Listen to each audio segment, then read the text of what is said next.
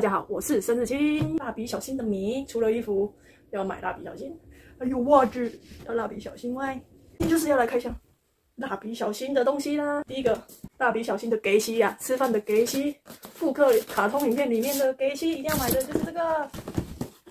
看到我就买了，蜡笔小新超可爱的。对呀，蜡笔小新的本袜啦，来开箱给你们看看呐。就是他们的本袜有个可爱的，他们的碗呢，蜡笔小新的碗筷，就是完全复刻影片里的那个他所使用的碗。章鱼，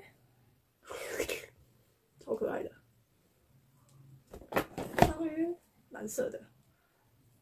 再来，他喝的杯子，蜡笔小新最爱吃的东西就是纳豆，也是我第一次要挑战纳豆。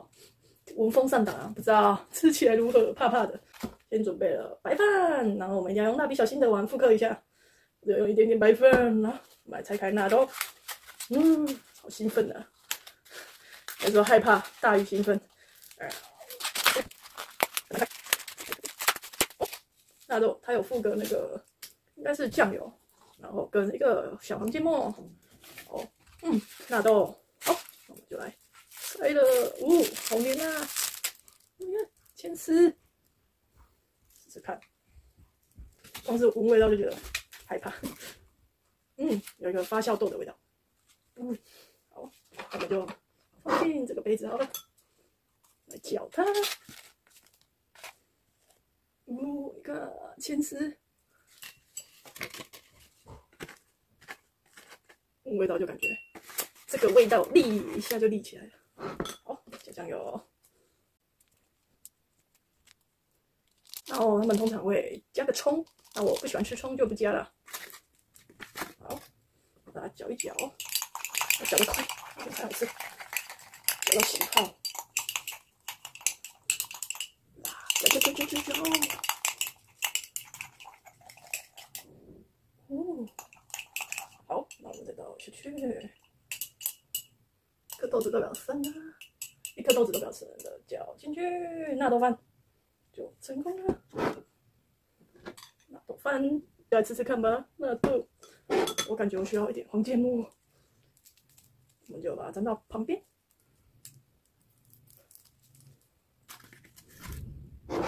嘿，好，就吃吃看吧。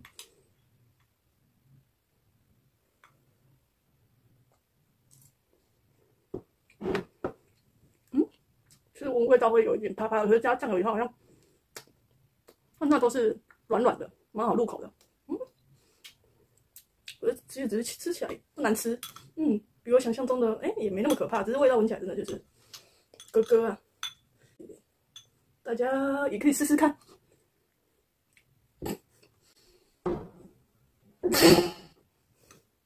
可是我还是有点怕，我不喜欢黏黏黏稠的东西，但觉得吃起来没好像没那么可怕。是一个不难吃，是吃进嘴里是不难吃的，但这个味道我不行。嗯，大家也可以试试看吃那种，继续开箱。这是巧克力球，里面有附公仔蜡笔小新的，我们就来看看吧。里面就是一个巧克力球，这样。好，那我们就来拆开吧。就是有点像健达出奇蛋那样。然后里面有附蜡笔小新的公仔，很怀念呢。小时候就是最爱玩这个游戏，最爱吃这个健达出奇蛋。然后里面又有玩具可以玩了，那我们来试试看，来看看里面会是什么呢？啊，好怀念的蛋，我想吃这个蛋，非常很啃，刚刚是童年的回忆。嗯，非常甜。那把它看看是什么玩具？啊，小新的头像上。就是要自己去组合它，它非常多的种类。啊，非常多种，所以我来看看我们的是什么。我得到一只小牛仔，非常可爱，牛仔，蜡笔小新牛仔。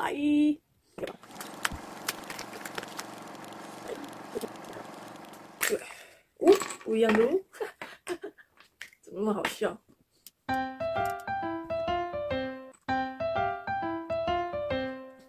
嗯，清凉版的蜡笔小新，好羞耻啊！你看，然后那背后就长这样，只有一件内裤啊，羞耻版的蜡笔小新，嗯，也是非常的可爱。吃饱饭，然后又吃完点心要干嘛？洗澡嘛。那日本人最爱什么？泡澡。蜡笔蜡笔小新的泡澡球，然后里面要有公仔啦，那我们就来开箱。是什么公仔？它是那种反省的，很可爱。家人在反省。你看，里面会有附一包泡澡的，让人家泡澡。然后我得到的公仔是美呀，你看生气的美呀。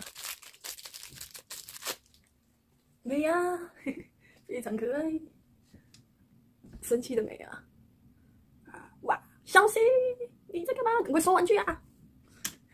妈妈，妈妈，这样好，那我们开开箱就到这里，拜了。